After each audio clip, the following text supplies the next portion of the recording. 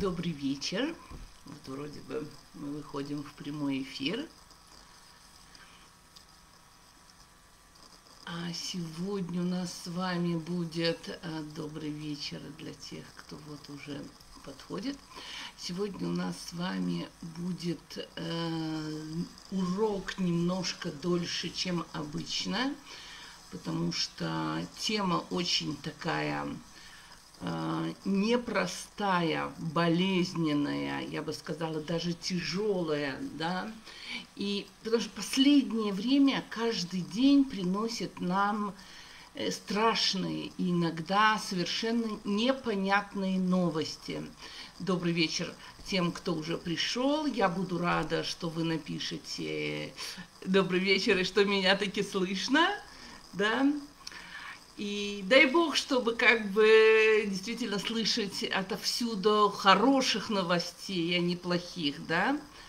А, так вот, а, я говорю, что каждый день приносит нам очень непростые, тяжелые, страшные, непонятные вести. И иногда приходит в голову вопрос, да, совершенно как бы непонятно, жили мы себе как-то, каждый из нас жил со своими радостями, со своими мелкими неприятностями. Иногда нам эти неприятности казались большими, да, минус в банке, эти проблемы, ребенок так себя ведет. А, добрый вечер, добрый вечер всем, добрый вечер. Правда, мира всему Израилю, да. Вот. И вдруг, бах, да, одно за другим начинают происходить какие-то невероятные несчастья. И, казалось бы, произошло одно несчастье, боже, такого большого не было, вообще непонятно откуда, и за ним, опс, еще одно, и еще одно, и оно вот так вот одно другое тянет, и там, начиная, начиная от короны, да, потом упал, так сказать, э, э, в Лагбаомер э, и так далее, и так далее, да, к сожалению, вы знаете все новости. И тут я бы предложила вам вместе попробовать подумать, задуматься, да, если в Таре, если в наших еврейских источниках что-то вот о этих временах, о том, что с нами сейчас происходит. Да? Кстати, я хочу еще раз напомнить, что вот в ссылке на нашу беседу есть э, линк, вы все его можете видеть, для тех, кто ст- хочет стать э, партнером э, платформы Вайкра и вместе как бы нести на себе ответственность за те лекции, за те уроки, которые там происходят. Да? Итак, сейчас, во всяком случае, я, я могу сказать, многие, кто-то, часть еврейского народа, половина практически, э, живет в государстве Израиль. И может быть с момента, когда э, это государство организовалось, может быть, многие уже начали думать, что вау, Галут закончился, да, началось время нашей геулы, время нашего освобождения. Что такое вообще галут? Да? А, галут – это то время, когда присутствие Бога в нашей жизни скрыто. То есть, конечно, можно сказать, галут изгнания и все что угодно, да, но главная актора, вот главная, так сказать, э, вещь, э, которая объясняет, что такое галут, это когда присутствие Бога в нашей жизни скрыто. В своих сихот э, Любавический Ребе говорит, что изгнание называется гула. Но если мы только добавляем одну маленькую букву алев, то изгнание превращается в избавлением. Гула превращается в геула числовое значение буквы Алеф, все вы знаете, это один, да? Это представляет собой единого Всевышнего Создателя этого мира. Если мы его добавляем во все наши дела, в то, что мы делаем, да, то происходит его раскрытие, да, раскрытие в этом мире, в наших действиях и так далее. Если мы посмотрим на историю всего нашего народа, на храм, который когда-то стоял э, в святом городе Иерусалиме, на Святой горе, да, мы посмотрим направление наших царей еще в те самые времена, и вообще посмотрим на всю нашу историю, то мы начинаем задумываться, за что нам все эти несчастья, за что нам все эти погромы, за что нам все эти изгнания – все то, что происходит на протяжении веков, все эти грабежи, все пытки у любого человека, у еврея и не еврея, да, который на минутку останавливался и смотрел на наш народ, возникал такой вопрос. Что это за народ такой? За что им? И зачем? Зачем это происходит? Даже не за что, а зачем? Да? И неужели за всеми этими такими странными и даже страшными событиями кроется какой-то тайный смысл? Почему наш народ должен пройти через столь тяжелое изгнание, да? И, кстати, еще один из вопросов, я не знаю, успеем или не успеем мы об этом сегодня с вами поговорить, это то, почему на протяжении всех веков, но и сегодня в еврейском государстве, не только во всем мире, тут, вот в этом государстве, которое мы называем еврейским, да, религиозные евреи вызывают патологическую, необъяснимую и иррациональную ненависть у тех, кто далек от веры и от Всевышнего. Эм, сегодня я хочу немножко вот так вот пройтись для того, чтобы понять, о чем мы говорим. Урок может быть не очень легкий сегодня, но я хочу для тех, кому это интересно, я думаю, действительно будет интересно. Я хочу поговорить с вами о разных типах галута, о разных изгнаниях.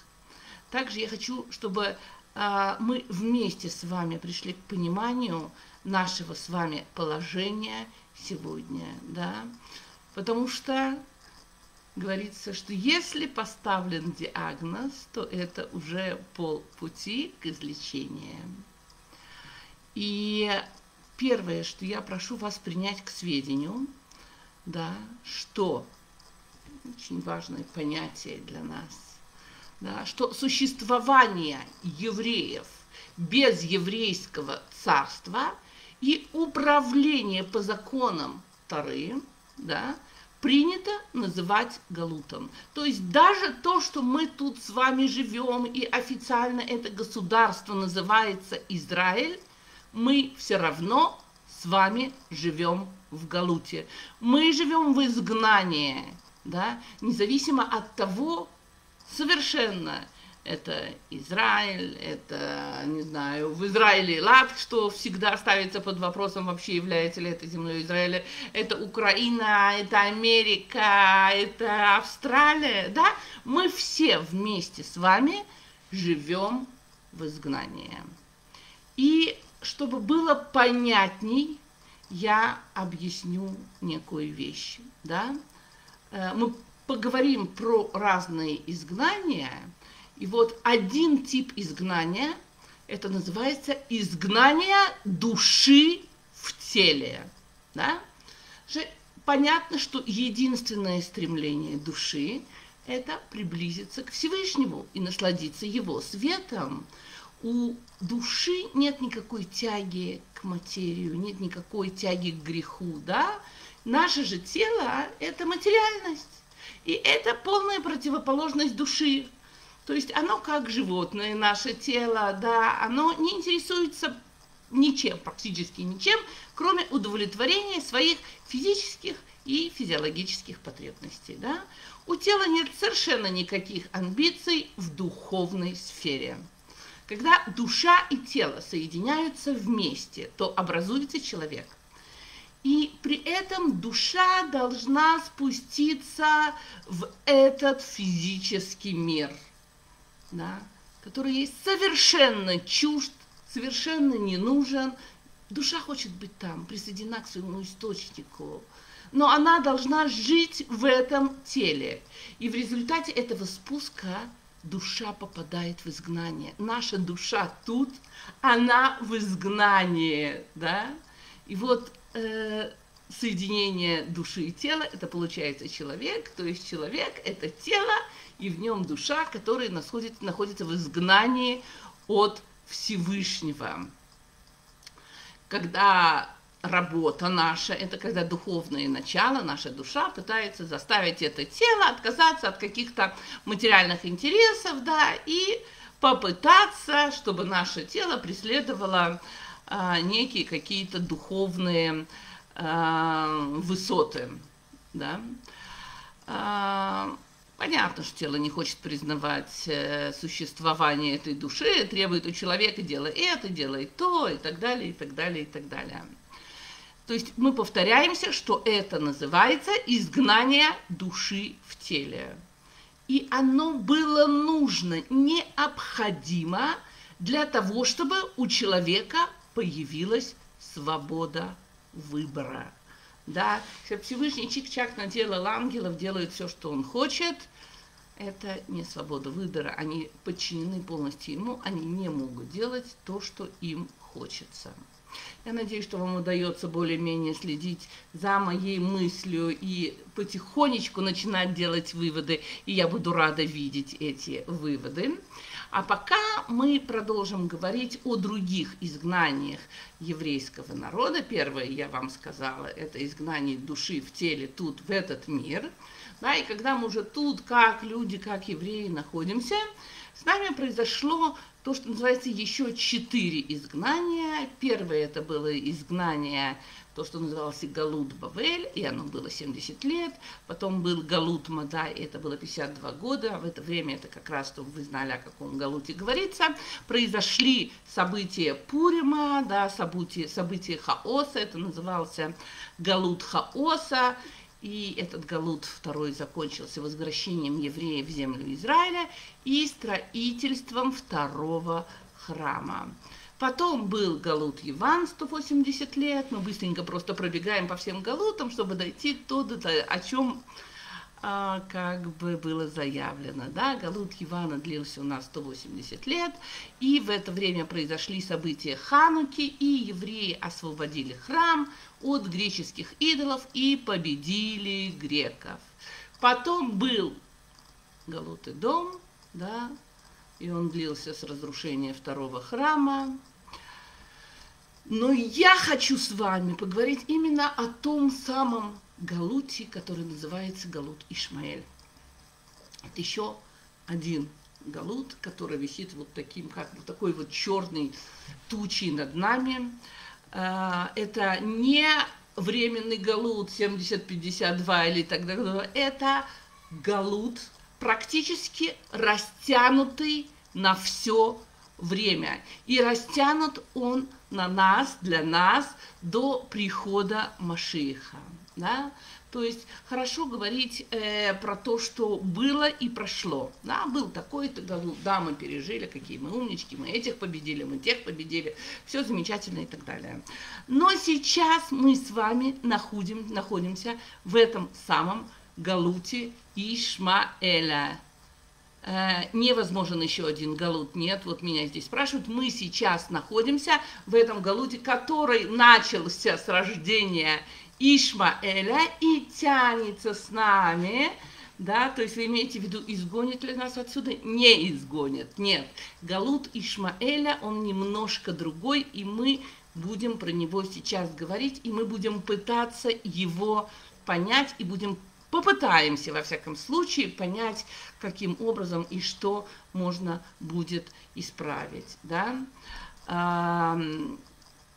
Сейчас нас с вами, вот этот Галут Ишмаэля, все проблемы, которые сейчас навалились на Израиль, да, это практически проблемы всех тех галутов, которые были, и нас с вами сейчас испытывают со всех сторон. Недаром ракеты летят и оттуда, и отсюда, и изнутри, да, со всех сторон, со всех сторон мы окружены, и самое главное, и самое тяжелое, Галут Ишмаэля, который у нас поднимается изнутри. Интересно, что, слушайте это внимательно, что пророк Даниэль видел во сне каждый галут, и каждый галут был в виде какого-то зверя. А вот про Галут Ишмаэля, про тот самый, про который мы с вами сейчас говорим, написано, что он видел не зверя, а он видел Пери Адам. Что такое Пери Адам? Да? И Аризель спрашивает, почему все галуты были в виде зверя, а вот этот такой странный наш Галут на протяжении всего, именно вот видел как Пери Адам. Да? И что это вообще такое Пери Адам? Если кто-то знает объяснение, пишите. Сейчас я посмотрю. Нет, вижу, не пишут, да. Азриэль спрашивает, э, Аризель, Аризель, Аризель спрашивает, почему? Почему не зверь? Ведь иногда нам хочется сказать про то, что делают арабы, что они не люди, что их поступки нечеловеческие, да, ну, я не могу утверждать про всех, что всем это хочется сказать, да, не, утвержд... не могу утверждать, что все так думают, но я про себя могу честно сказать, что часто или иногда, слыша и видя, что они творят, я именно так и думаю. Мне кажется, что это просто не люди, да. Так э, Аризель нам говорит, что Галут Ишмаэля, Галут под этими самыми пери Адам, это будет самый тяжелый Галут. Что такое вообще пери? Что такое проим, да? Ну, это такие, как, знаете, как э, барбария. Э, э, если все евреи э, возвратятся на землю Израиля, что-то может измениться. Я надеюсь, что когда я закончу нашу беседу, вы сможете получить ответ да, на этот вопрос. И если нет, то я постараюсь дополнить. Да? А, то есть, что такое пери, проим? Да, то есть есть в, э, в иврите, в Израиле такое выражение барбари, то есть люди, которые разрушают, не видя и не слыша совершенно ничего. Они имеют одну единственную цель, да, они не как животные. Если мы с вами говорили то, что предыдущие галуты были как животные, так вот они не как животные, да, которые животные, что у нас делают, да, они что-либо разрушают, бьют, убивают, потому что этого требует их животное начало. Они голодные, у них не хватает денег, их земля опустошена, опустошена, поэтому они совершают некие завоевания и, соответственно, там гонят нас в плен или что-то у нас отнимают и так далее. Галут Ишмаэль, Галут Ишмаэль намного сложнее. И намного тяжелее, потому что он тянется на протяжении всех галутов, да.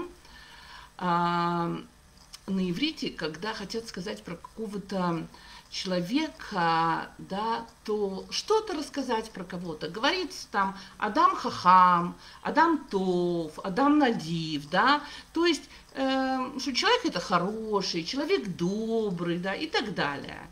Но первое слово, которое употребляется, это слово человек, и оно главное. А потом уже, какой этот человек – но в случае, про который мы говорим, говорится периадам.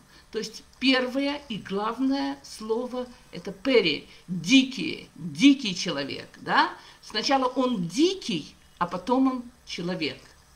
Ишмаэль, главное его качество это дикость, да, то есть э, он, эм, вы помните, да, то, что написано в Таре, как он играл с Ицхаком, и он был груб, и он учил его каким-то таким вещам, которые эм, Сара очень не хотела, чтобы ее сын видел. И вот это качество, оно передалось, вот это пере, да, про им, оно передалось, естественно, потомкам, э, всем потомкам Ишмаэля, да.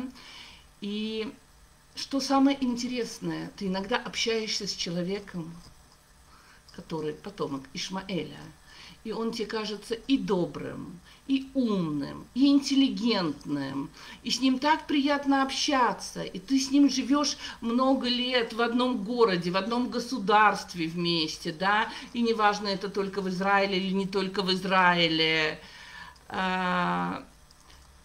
Спасибо, что вы с вами, Наташа Волошина, что вы с нами, Наташа Волошина. Спасибо вам, да.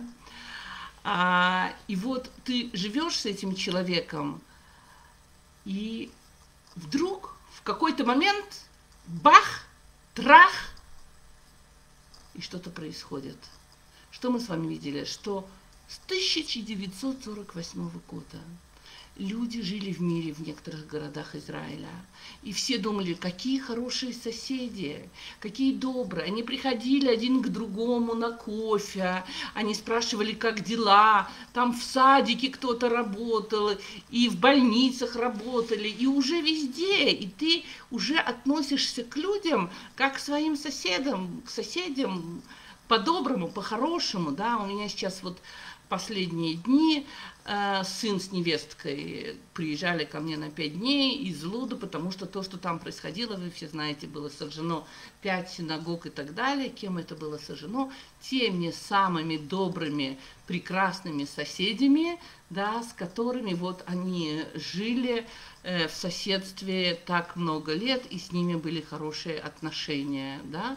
И в один момент, бах, что-то случилось, что-то перевернулось, и эти люди превращаются в диких, неуправляемых людей, ненависть которой просто их душат, и они не в состоянии даже э, просчитать, понять, что они делают. Они не понимают, что они живут в этом, в этом городе, в, этом, в этой стране, и пройдет там буквально несколько дней, закончатся все эти безобразия. С Божьей помощью я молюсь, что действительно закончится, и все будет хорошо. Как они будут дальше жить с этими соседями? Как они будут дальше жить с этими людьми, да? Интересно, что люди, которые там вот жили близко вместе с Ишмаилим, с арабами, говорят, что Э, эти люди, эти арабы сами признаются, что вдруг в них что-то просыпается, внутри некое такое качество, и они совершенно не могут с ним совладать. Да? Это ни в коем случае не значит, что там этих людей я призываю кого-то там убивать или что-то. Нет, ни в коем случае. Да? Просто надо совершенно четко изначально знать, что это не люди, на которых мы можем полагаться. Это очень важно, да, скажи мне, кто твой друг, да. Интересно, что еще царь Давид говорил, что он не понимает, что это за люди. Я хочу с ними жить в мире, мы живем в мире, я им говорю мир, мир, да, а они мне улыбаются, а внутри у них война. Я надеюсь, что вы не знаете, но бывают такие товарищи, они тебе улыбаются на работе, дома, еще где-то, а за спиной держат нож, и в нужный момент, бах, они тебе его воткнут. А в Мидраше, в Перкей Лезер написано, что будут, да, написано, а, а, есть такая книга, книга, которая называется Ахрид Имим, да, так вот, там написано, что будут некоторые вещи, которые Ишмалаим будут делать евреям. И одно из них это то, что вот будет застроен, э, застроено место Бейта Мигдаша, нашего храма, и действительно там есть Эль-Акса, и, и написано изначально, да, вот э, в этой книге, что это будет одной из центральных проблем, которая будет стоять между нашими народом, нашим народом и народом Ишмаэля. Да? А, интересно, что есть очень много народов, которые вели друг с другом войны, но потом были перемирия или там какие-то мирные договора, и теперь а, люди живут в хорошем соседстве, вообще никто не вспоминает про эти войны, да, то есть, скажем, вспомним Чин Чингисхана. Ну, кому сегодня придет в голову э, вести войну с монголами вспоминать, ах, вот вы тогда захватили у нас это или это, и было так и так, да, э, ну, никому практически, да, понятно, есть книги, есть как бы фильмы снимаются и так далее, но никакой ненависти, никакой войны, никаких на сегодня, да, нету каких-то вот таких вещей. У нас совершенно по-другому все. За что происходит наша война? За что происходит наша битва ежедневная, ежечасная? Она происходит за внимание папы. И сколько бы мы ни мирились, и сколько бы мы ни хотели быть с ними в мире, этого никогда не случится. Можно спросить, откуда у них есть эта удивительная сила воевать. Добрый вечер тем, кто еще подходит. А откуда у них есть вот эта удивительная сила убивать, воевать, ненавидеть, быть шаидом, совершать террористические акты. Это сила жертвовать своей жизнью. Да? Откуда? Откуда это берется? Так вот, есть только два народа. Только два народа, в названии которых есть имя Всевышнего. Исраэль и Ишмаэль. И у того, и у другого, да, есть в имени имя Всевышнего Эль, Всевышний, да. Кстати, тот, кто знает, знаете, да, что означают эти имена Исраэль и Ишмаэль? Если знаете, пишите, да. Так вот, Израиль означает, что он, э, Израиль, э, духовный народ, и он проявит силу и сможет одолеть, да, сможет одолеть духовными субстанциями, да, такие как Малах. Вы помните, когда появилось это имя, когда Яков дрался с э, ангелом Ишмаэля, и вот он сможет проявить, он, опять же, не только Яков, а весь наш еврейский народ, и сможет одолеть а, вот этого как бы ангела, да, и, э, соответственно, это то, что мы сейчас ждем и хотим, что поскольку мы же понимаем, что весь мир управляется, и над Ишмаэлем есть его ангел, и один раз Яков его уже победил, и это то, что будет с нами, поэтому говорится Израиль в будущем, да, в будущем, то есть будущее это как раз наступают сейчас вот наши времена, это будущее. Что такое Ишмаэль? И услышат Всевышний, да, услышат. Не сейчас слышат, да, не то, что э, Агарь, так сказать, говорит спасибо, вот услышал меня Всевышний и дал мне вот этого сына. Нет, он назван Ишмаэль. Это имя ему предназначалось еще до его рождения. Слушаем это и запоминаем. Это важная информация. Ишма в будущем. Так вернемся к тому, что же за сила, которая толкает этот народ вот на такие бесстрашные поступки. Откуда она? Вы помните, что э, кричат Ишмаилим, что кричат арабы, когда они хотят совершать э, теракт и взорвать себя? Ну, я уверена, что вы это не расслышали, да? Они кричат два слова. Аллах Акбар – Вы знаете, что они имеют в виду? С арабского на русский эти слова переводятся как «Аллах величайший» или «Аллах велик». Да? Причем эти слова они кричат не только, когда они идут умирать. Нет, это выражение их любви, их преданности к Всевышнему. Да? Они хотят порадовать Всевышнему. Когда у них что-то там получается, они тоже так кричат. То есть все, что они делают, они делают во славу того, кого они считают Богом, Всевышним, да, а, Причем мы не будем сейчас с вами спорить и пытаться сказать, э, э, это один Всевышний, и как наш подход и их подход, с чем отличается и так далее, это точно на этом уроке, потому что дай Бог, чтобы я успела закончить ту тему, которую как бы я уже взяла, да.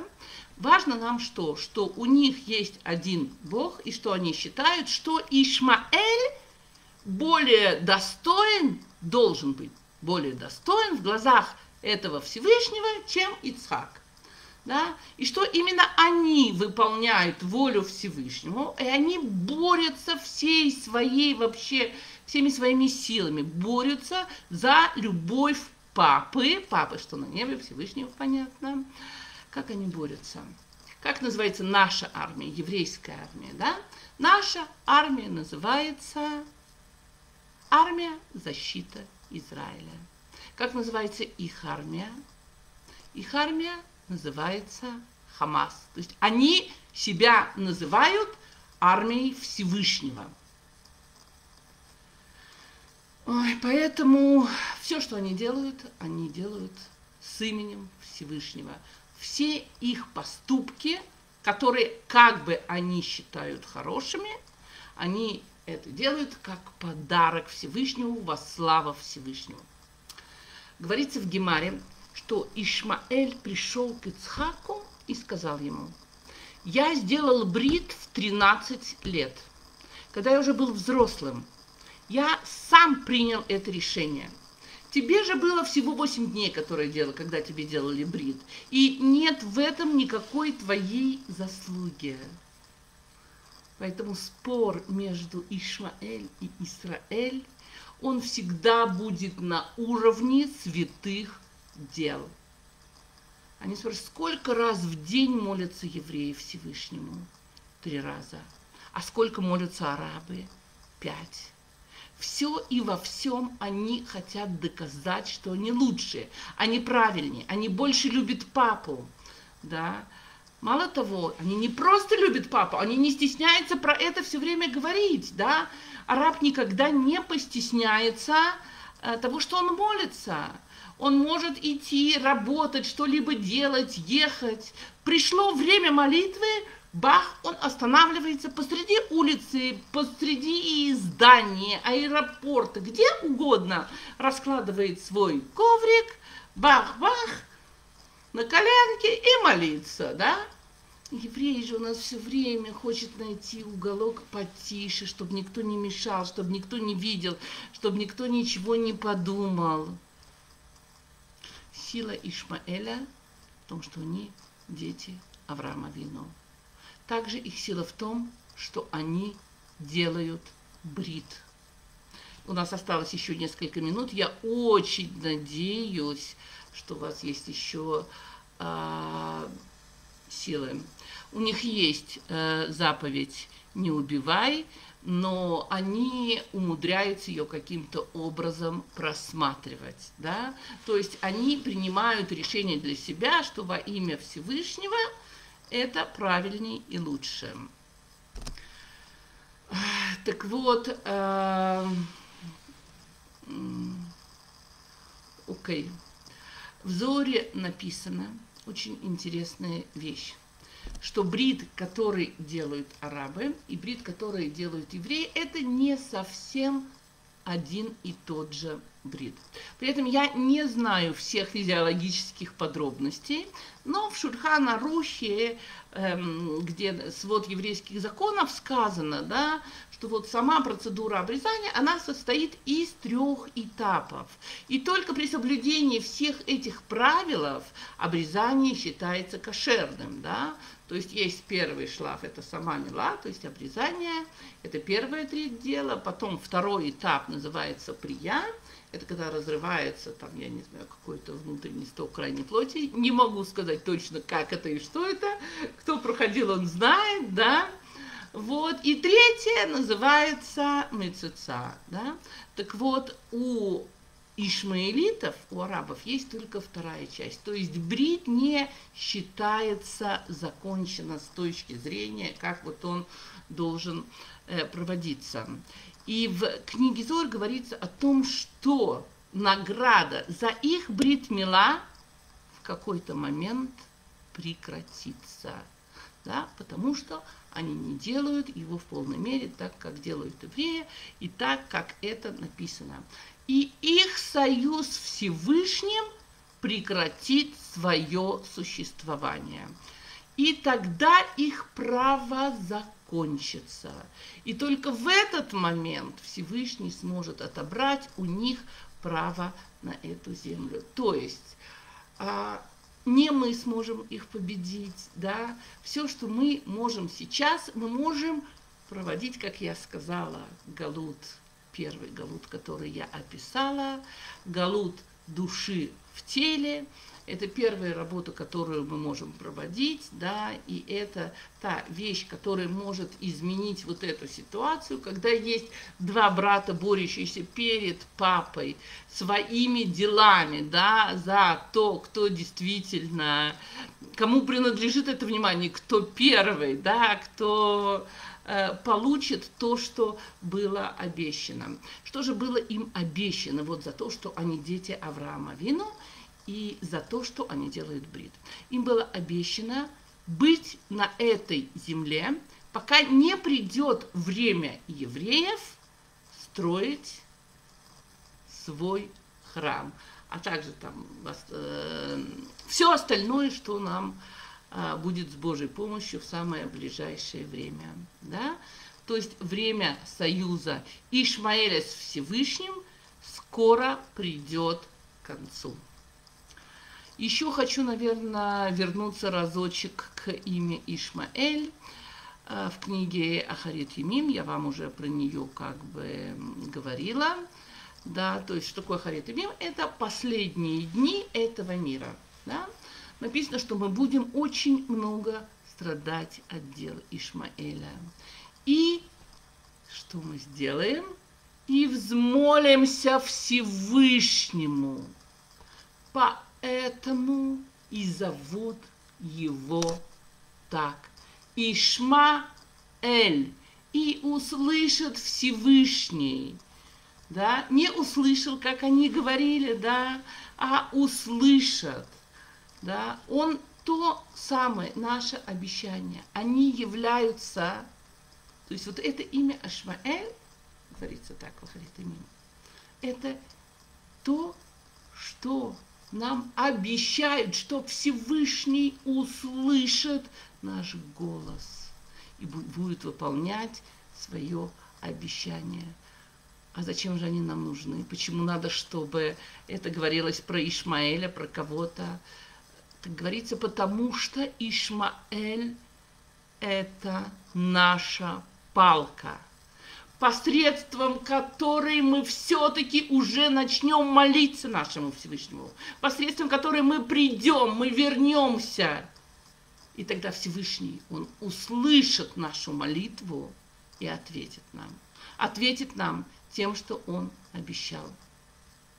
Что же мы должны делать сейчас? Сейчас, когда нам так тяжело, Всевышний ждет нашей молитвы. Всевышний ждет, чтобы мы к Нему обратились. Он хочет, чтобы его дети, которых он выбрал, они вернулись к нему. Мы все время убегаем, мы все время находим тысячи одно отговорок. Нам кажется, ну зачем пойти молиться, зачем идти в эту синагогу? Я могу тут помолиться, я могу быстренько сказать тут, у меня нет на это время, у меня нет на все время. И вообще эта молитва – это некая формальность. Это не формальность. Это настолько неформальность, что именно на этой нашей молитве основано то, каким дальше будет наш мир. Нам очень хочется построить ему дом, хочется построить храм. Да? Мы все время упоминаем в наших молитвах об этом. И вот этот спор, чей Иерусалим и так далее, есть рассказ Рафлау о том, что как-то он поехал в Египет на встречу с президентом Мубараком, да, и на эту самую встречу пришел э, муфти э, Египта, и был приличный, приятнейший разговор, добрый, дружественный, да, и когда вот тебе приятно с человеком, тебе хочется сделать какой-то ответный жест. И Раф Лау приглашает этого муфтия посетить Иерусалим. И вдруг лицо этого муфтия меняется, и он ему говорит, моя нога никогда не ступит в Иерусалим, пока он находится под израильским завоеванием. Да? Это святое место арабов, и оно должно быть только наше. Тот, кто знает этот рассказ, он очень известен, да, наверное, уже улыбается. И Раф Лаву его спросил. Он ему говорит, смотри, я равин, я знаю, что написано в Таре. Ты же муфти, ты знаешь, что написано в Коране. Скажи мне, пожалуйста, если тут кто знает, тоже можете сказать, сколько раз Коране упоминается слово Иерусалим. Муфтий замолчал. Молчал. Афлава спрашивает, так сколько раз? Тот помолчал, потом сказал, ни разу. А у нас в Таре, сказал Рафлау, слово Иерусалим или Цион, что это то же самое, упоминается 821 раз. Так как, о каком Иерусалиме вы говорите? Что ваше? Да? Если в вашей книге ничего о нем не написано. Значит, вы говорите о неком Иерусалиме, да, который это какой-то другой Иерусалим, он не упомянут. И наверное, я хочу закончить нашу беседу с вами важным пониманием одной вещи. Понятно, мы не смогли сегодня выучить все, что хотели. Я уже вижу, я времени уже в два раза больше и так далее, чем э, мне дают его. Мне дают 20 минут на урок всегда. Так вот, я хочу запом... Э, закончить нашу беседу очень важной вещью – которую, наверное, важно, чтобы каждый из нас понял. При том, что мы говорим, что мы ждем Машиха, но на самом деле не мы ждем Машиха, а Маших ждет нас. Он так хочет, чтобы мы вернулись к папе. Он так хочет прийти к нам. Он стоит и ждет, и ждет, и ждет. И говорит, ну что же вы, ну что же? Ну что же, как же вы можете так жить? Как же вам может это нравиться? Вернитесь к папе, вернитесь. Давайте постараемся, каждый как может вернуться. И часто на Итваадутах Рэбе говорил, когда мы кончаем вместе с вами учиться, давайте вот несколько минут мы побыли вместе, попытались что-то понять, попытались что-то выучить. Давайте каждый напишет, что он, может быть, может взять на себя какое-то маленькое хорошее дело, какую-то маленькую заповедь. Он может сделать какое-то маленькое хорошее дело, которое изменит весь этот мир к лучшему. Если кто-то из вас хочет написать, что вот подумали и решили, что да, да, мы хотим, хотим приблизить приход Машиха, и взяли на себя что-то хорошее, я буду рада видеть, потому что хорошее тянет за собой хорошее. И кто-то один начинает делать хорошее, и всегда это приводит к тому, что и другие люди тоже так делают. Мирного неба нам, счастья и понимания, зачем мы вообще тут находимся. Всего хорошего.